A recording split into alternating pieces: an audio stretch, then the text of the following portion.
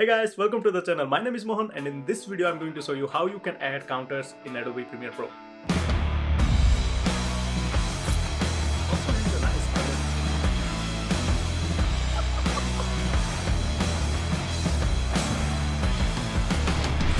So there might be a number of reasons why you want to add a counter in your videos. Let's say if you're a gamer and if you want to show someone like uh, how many times you killed an enemy or how many times you died in a game. So it is really helpful uh, to have a counter in your videos just to showcase that particular information or else if you want to add the counter like how many times a person said a particular word like that is really helpful as well so let's get into premiere pro and this will be a quick and easy tutorial Alright, I'm in Premiere Pro currently and what we're going to do is we'll be adding a text layer from the graphics tab.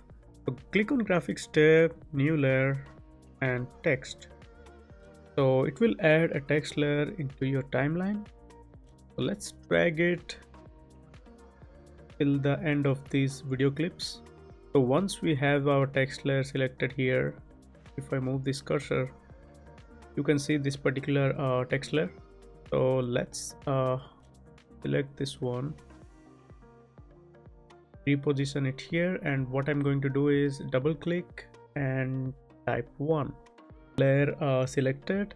Uh, you can go to your effect control tab. Uh, if you don't see the effect control tab here you can just click on this particular arrow button double arrow buttons and click on effect controls once you are in effect control tab uh, you can see something called text.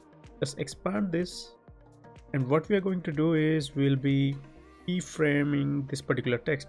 So you can do that by clicking on this toggle animation button.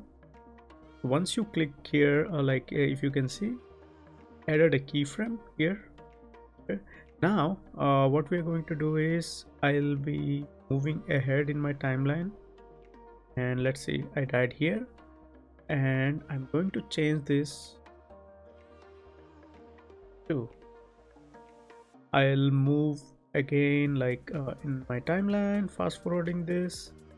And let's say I want to add here as 3 and as I do that if you can see here on my left uh, it is adding one one keyframe.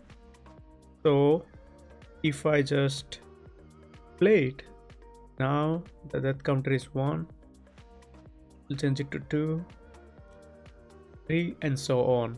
So that's it guys. A quick and easy tutorial on how you can add the counter. Alright guys that's it for this video. Hopefully you have learned something useful and i'll see you all in the next one. Take care